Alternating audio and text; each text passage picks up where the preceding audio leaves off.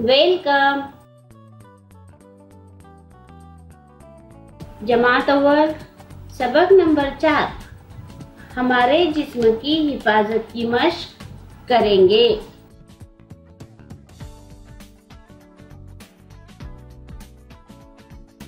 याद रखो, रोज़ाना खूब खेलो। रोज़ाना रात को भरपूर नींद लो। जिस्म की हिफाजत करो।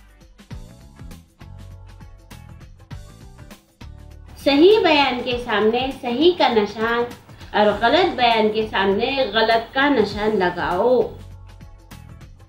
हमेशा सीधे बैठो। सही। रोज़ाना रात को जल्दी सो जाओ।